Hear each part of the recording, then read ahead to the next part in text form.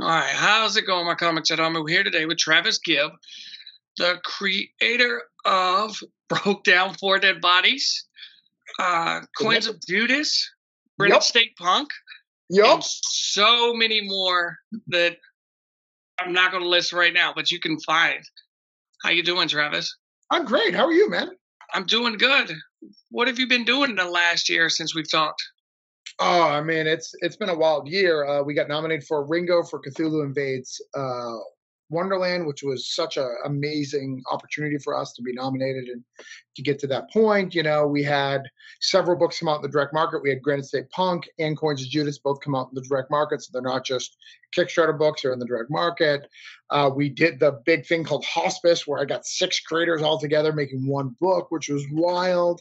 Uh, what else did we do? Uh, my wife did a comic book uh, called Sing Along Blog, Sing Along Comic, which was about cottage cheese and about my son. So lots of crazy stuff this year. It's been a wild year, and it's been so busy. In fact, I didn't even put out another issue of Voodoo Nations, which is completely done. It's been done probably since April. I just don't have the room to put it out. It's been so crazy. It's been wild. So, do you just have to kickstart it? Yeah, I got a Kickstarter. I'll do it at begin, probably beginning of the year because we've still got I still got two more Kickstarters this year. Right now, we're running Granite State Punk, the Coven, so the third uh, in that series, and then we got our annual Holiday Spirits, which is coming out uh, in December. So That's right. Um, so, Granite State Punk, are you going to do each of them a one shot?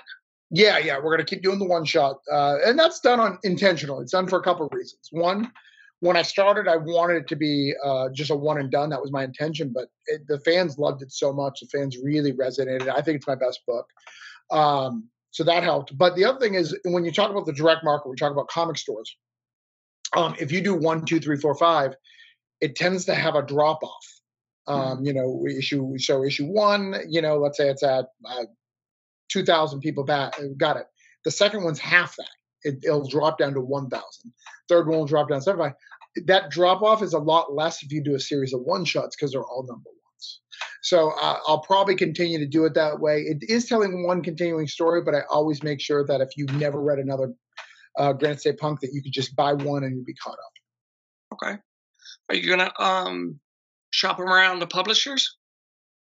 Well, Granite State Punk is with Scout. Oh, right, the other two. You got the Coven, right? Is Scout going to pick that up too? Yeah, they'll they'll do all the Granite State Punk ones. Yeah, so all the Granite State Punk will be be with Scout. Uh, they signed a contract, so any Granite State Punk I do, uh, I mean they don't have to take it, but they have the right first right of refusal. So if I make a Granite State Punk, I have to offer it to them first. They've requested more. In fact, they want to make sure that I have a trade done by 2025. So they would like, ideally, they would like five to put in a trade. Um, You know, so that's that's our goal to get get to that trade. Um, I also have a spin-off called Granite State Goth that we're gonna we're gonna probably do a, a gothic spin-off. Okay. You're a busy man.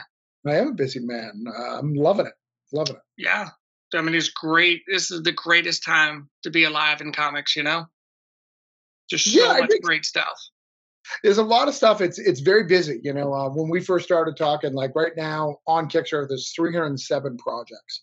Like when we started, it was like 160, 150 at this time of year. Like it's doubling. So more and more people are creating comics. More and more people are, are finding the opportunities through Kickstarter and through pub- small publishers to get their work out there, which is really, really great. It's such a, a wonderful opportunity to kind of level up. You know, my goal, I, I really by 2025, knock on wood, I want to I want to work with Marvel. I want to have a Marvel project. I I think it'll happen. You got enough. You got enough variety, you know? Yeah, I think I should show them that I can write. Right? You know, I've got enough stuff that hey, I was like, I, I can write. Give me a give me a chance. You know. I mean, And I've got a, you know, I got a lot of other publishing gigs that aren't Orange Cone. You know, in the next couple of years, you'll see a lot of non-Orange Cone projects coming out because a lot of people are hiring me, and they're not hiring me for like uh, an anthology where I do four pages. They're hiring me for full books and volumes and trades. You know, I'm working on a, uh, a superhero book right now uh, with uh, Zion Publishing. I, I don't know if Scout does them. I don't think they do. It's uh, Spider Squirrel is uh, named Charlie McKevy. I don't know if you know him.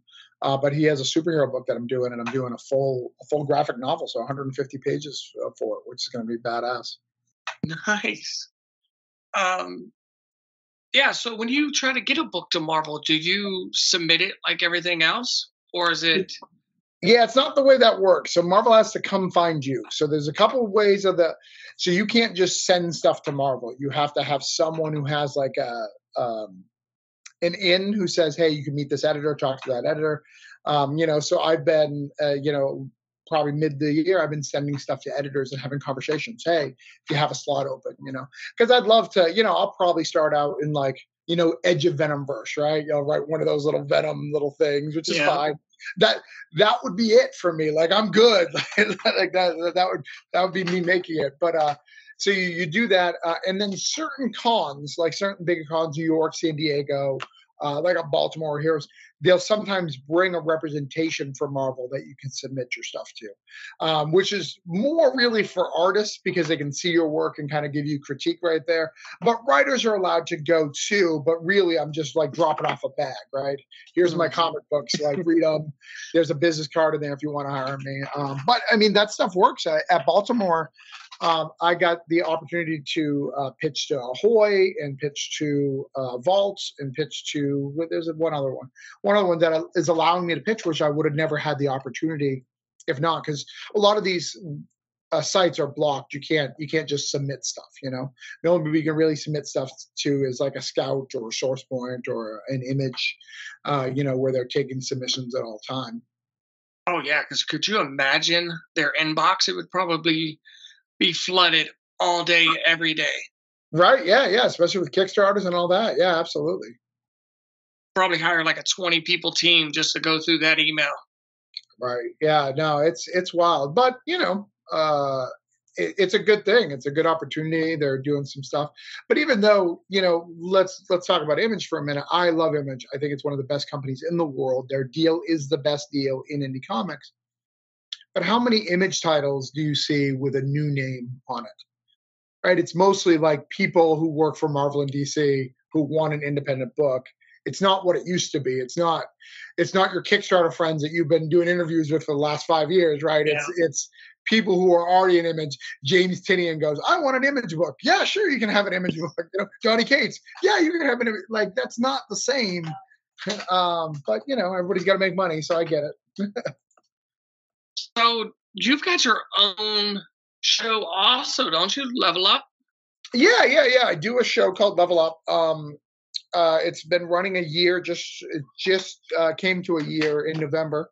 Uh, yeah, and uh, what it is is I ask comic creators and I go through their career. I talk about all their books and how much I love them, and then I ask them for some advice on how to level up. You know, these are people who I aspire to be, or like I want to see their path. I do it for a couple of reasons. One, selfish reasons. I want to learn how to level up myself. You know, I want to figure it out. So I yeah. to people smarter than me. Two, I want to show that everybody's path is different. You know, some person have never written a comic and then they're working at Marvel tomorrow.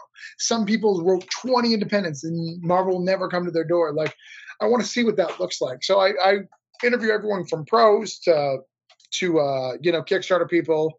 I, I have two rules to be on the show. You have to have completed something, meaning you have a trade out of all your work, and somebody that's not you had to have hired you. Meaning someone you can't just I self-published all my stuff. You you had to have someone else hire you for something because that's I think that's important for for someone's career is somebody else validating you and saying that yes. you know you I want you to to work for me and, and do stuff. Oh yeah, because I mean, I don't think anybody would say their their stuff's not good. You know. Right. Sure. So, it, I mean, everybody. If you talk, everybody that has a book, they'll tell you it's the next greatest book. So yeah, right. It's pretty cool. you know. Um, where are you going to be at this year or next year? Uh, the only thing I've signed up for 100% is I'll be at MegaCon. Uh, so I'll be at MegaCon. Uh, that's in February this year, which is wild. I'm trying to get to Baltimore. I'm trying to do uh, Granite State Con again uh, in New Hampshire. I really like that con. I try to get up there every year. I'd like to do one of the big ones. Uh, you know, um, you know, New York or or um, San Diego, but uh, that's it. But you'll, I mean, you'll see me in Florida. I'll do all the small, smaller, you know, two day shows that they have here too. So I'll, I'll be around doing some stuff.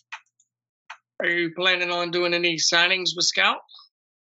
Uh, yeah, yeah. Next time I got to go to Comic Impressions to pick up some books, I'm going to set up a signing up that day. Um, just haven't figured out the last book we didn't uh, didn't. It, I basically I have two two printers that I use.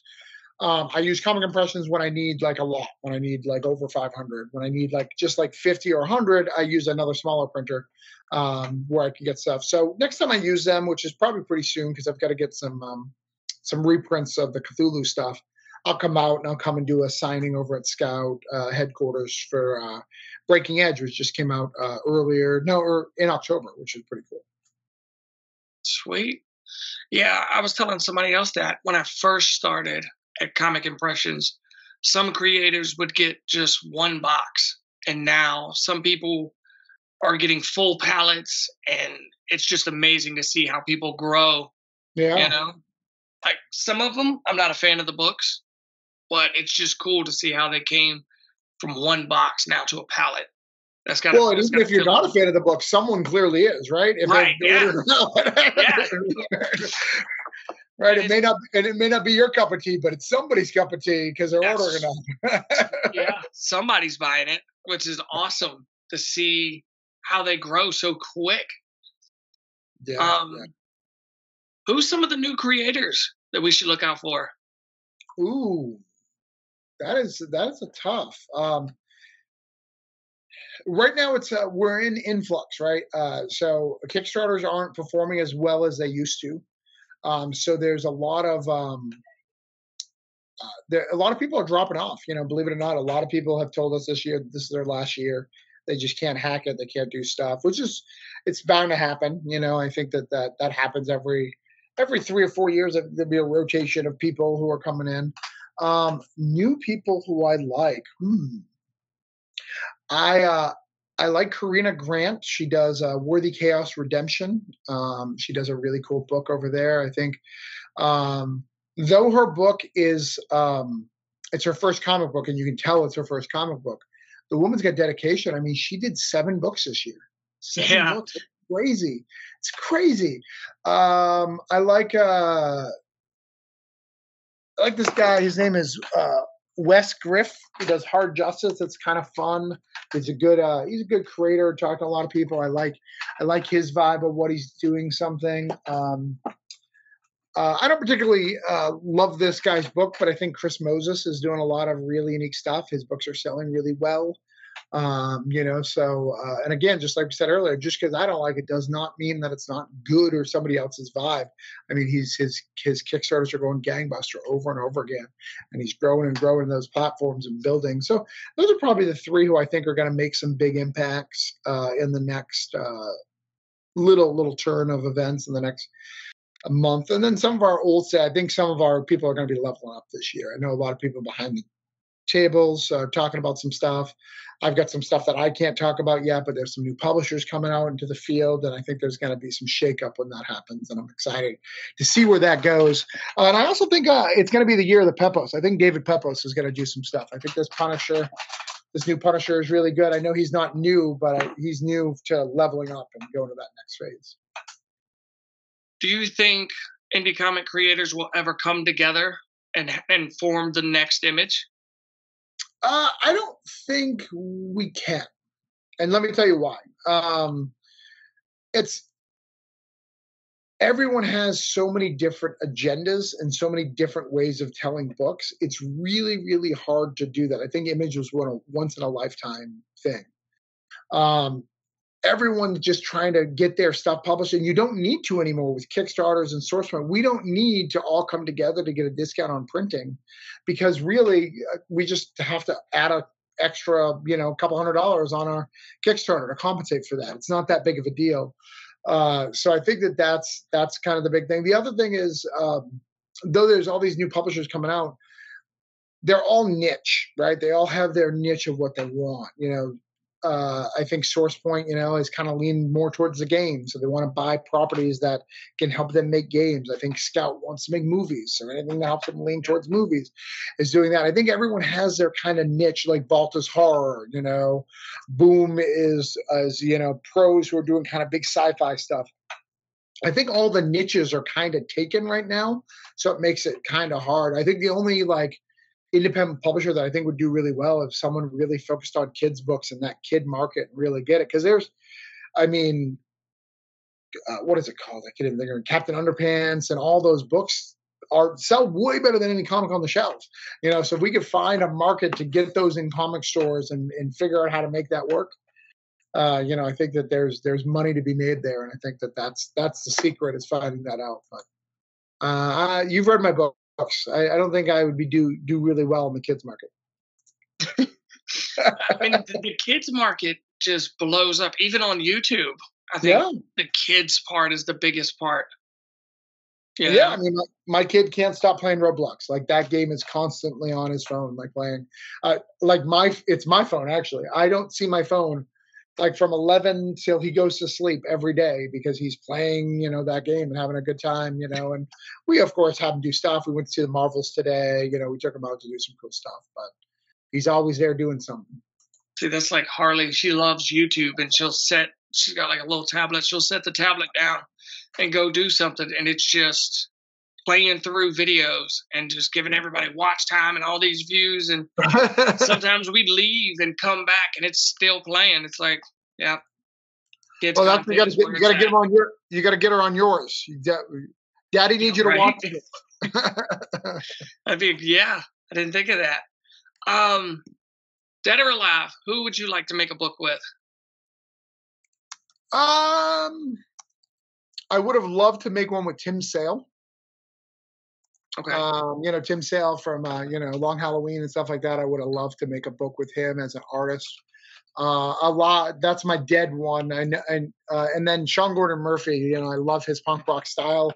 Uh, you know, someone who does Granite State Punk. I'd love to get you know him on a book. I think that would be amazing. You know, I, I think those are those are the two I'd like to work. You know, with. Okay. Um, do you want to say anything before we go? Uh, I guess if you're watching this, you know, um, you haven't had a chance, you know, back Granite State Punk, uh, The Coven. You know, it's a it's a great book. You know, uh, people love Granite State Punk. It's the people that it's uh, most people's favorite book. Would you say it's your favorite, or do you like Broke Down? I say Granite State is probably okay. my favorite. Yeah, yeah, Granite State Punk. You know, mo- like most people say it. Uh, the Coven is the best one I've ever done. Uh, it's about uh, Zeke. He's still trying to figure out his powers, and uh, he gets himself uh, knocked out because he's he's taken all these powers. And when he's knocked out, he remembers his past, and we we see him as a kid, and he t- we meet the coven, a coven of witches, a bunch of punk rock kids uh, fighting ghosts uh, in a in an old uh, burned out building. So it's it's pretty fun, uh, but it's it's really written well. It's a lot of fun to read. Uh, I just love that book so much. Uh, you know, if I could only do that book, if I could just do that book monthly, I would. I, I, I would, and I think it would sell. I think it's uh, I think it's great. All right. Well, appreciate you taking the time to come talk with me, Travis. I'm always here for you whenever you need me. What? You mean you haven't subscribed to Comic Chat Authority? Oh, come on. Subscribe already. What are you waiting for? It's no big deal. Like, man, don't forget to tell him to hit that like button. Yeah, yeah, that too. Just subscribe.